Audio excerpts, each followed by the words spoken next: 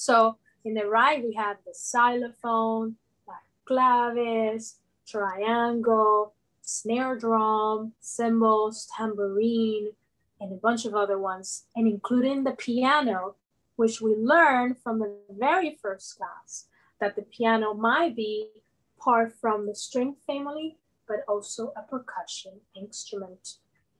There we go. So we have some instruments that are similar to the xylophone, and those are called the marimba, the vibraphone, and the uh, glockenspiel. So those are kind of similar to them, to the xylophone, but they're a little, little different. And I saw Miss Kelsey go like this because she loves it, and I, am sure that she wants to talk about it.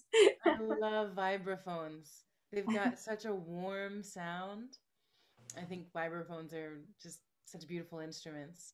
I also, a friend of mine made marimbas and xylophones out of ice.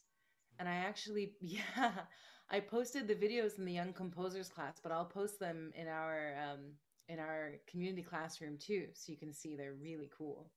That would be really cool to see because it's so different than what the actual marimba is uh, from. Because marimba is made out of wood, and it has some plastic resonators attached to the to the bottom of the keys.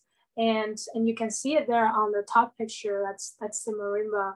Uh, and on the bottom we have the the, the glockenspiel um, which is kind of tiny. They're kind of similar looking instruments but their their sound is different and the sizes are also a little different.